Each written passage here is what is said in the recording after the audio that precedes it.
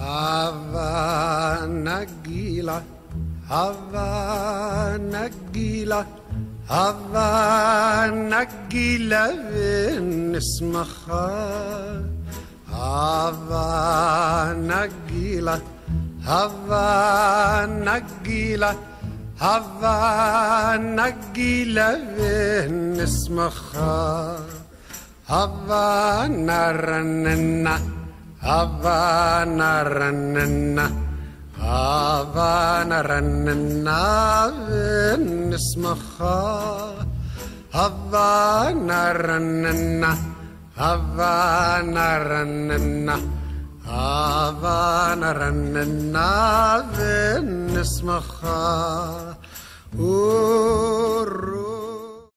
Kościół nie waha się przypisywać chrześcijanom największej odpowiedzialności za mękę Jezusa, którą zbyt często obciążali jedynie Żydów. Największa odpowiedzialność za mękę Chrystusa jest nasza, a nie Żydów. Dialog z judaizmem nie należy do dialogu międzyreligijnego, jest przyporządkowany do, do całej wielkiej rzeczywistości dialogu ekumenicznego.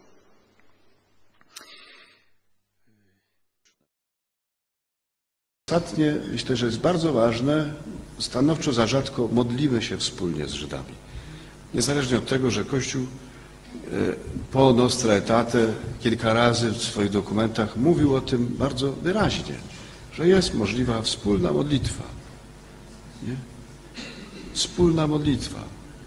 Więc szukajcie też takich możliwości i takich miejsc, gdzie jest możliwa nasza wspólna modlitwa z Żydami. No to tyle. Słuchajcie, jak Jan Paweł II poszedł do synagogi w Rzymie w 1986 roku, zrobił coś, co było znakiem odwracającym historię.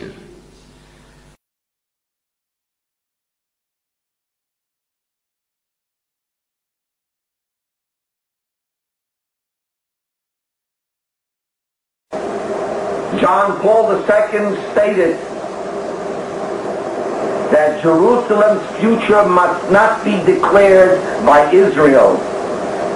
The Vatican said, calling such a policy, quote unquote, morally and legally unacceptable, quote unquote.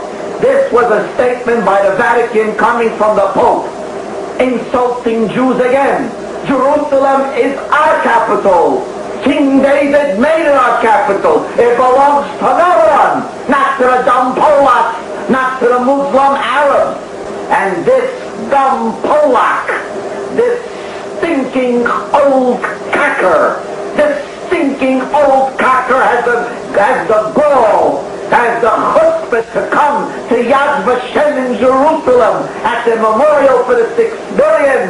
And he has the nerve of this outer cacker has the nerve to come and say, for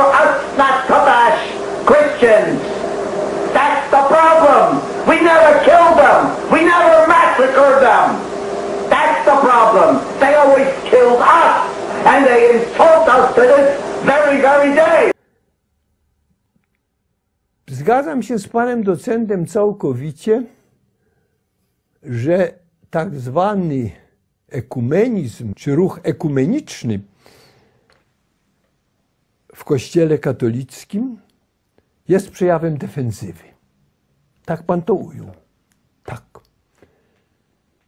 To jest postawa ludzi, którzy nie mają poczucia pewności siebie, którzy widzą, że z przeciwnikiem ideowym, w każdym razie myślą, że tak jest, że z przeciwnikiem ideowym, w tym wypadku innymi wyznaniami chrześcijańskimi, czy nawet innymi wiarami pozachrześcijańskimi, muszą paktować.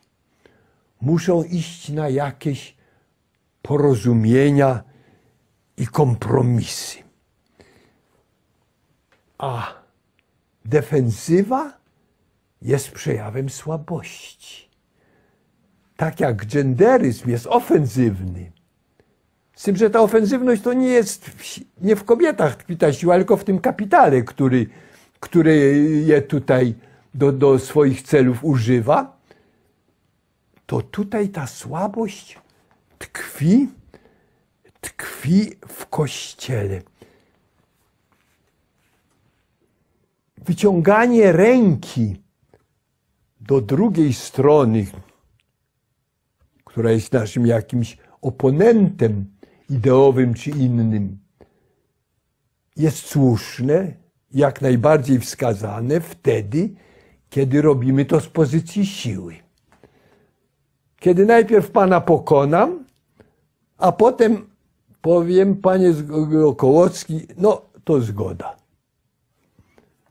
To wtedy Pan przyjmie to chętnie i może nawet z wdzięcznością. Pokonałem Pana, mógłbym Pana, przepraszam, że takiego używam porównania, nie mam zamiaru Pana oczywiście pokonywać, ale tak dla, dla, dla ubarwienia sprawy. Pokonałem Pana, ale nie mam zamiaru Pana zniszczyć przecież. Swój cel osiągnąłem, jakiś tam w jakiejś sprawie byliśmy różnego zdania, ja, ja tutaj moje wzięło górę i na tym koniec. A poza tym robimy zgodę i dalej działamy wspólnie. Taki ekumenizm miałby sens.